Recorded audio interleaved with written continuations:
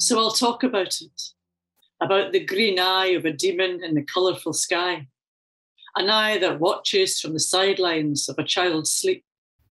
The eye of a misfit whose excitement replaces fear.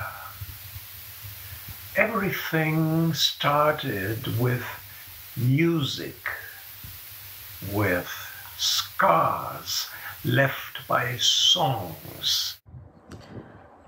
Heard at fall weddings with other kids my age, the adults who made music.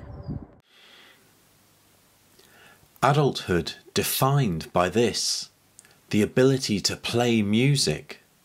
As if some new note, responsible for happiness, appears in the voice. As if this knack is innate in men, to be both hunter and singer. Music is a caramel breath of women, tobacco scented hair of men who gloomily prepare for a knife fight with a demon. Who has just crashed the wedding. Music beyond the cemetery wall. Flowers that grow from women's pockets, school children who peek into the chambers of death. The most beaten paths lead to the cemetery and water. You hide only the most precious things in the soil. The weapon that ripens with wrath porcelain hearts of parents that will chime like the songs of a school choir. I'll talk about it, about the wind instruments of anxiety, about the wedding ceremony as memorable, as entering Jerusalem. Set the broken psalmic rhythm of rain beneath your heart.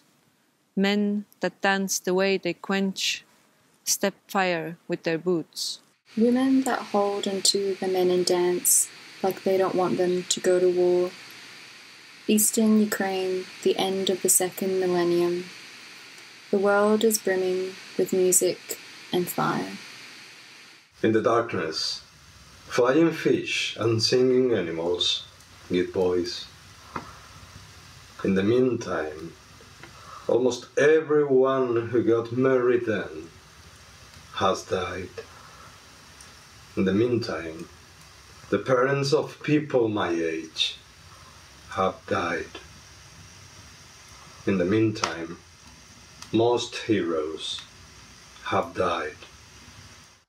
The sky unfolds, as better as it is in Gogol's novellas, echoing the singing of people who gather the harvest, echoing the music of those who cart stones from the fields, echoing, it doesn't stop.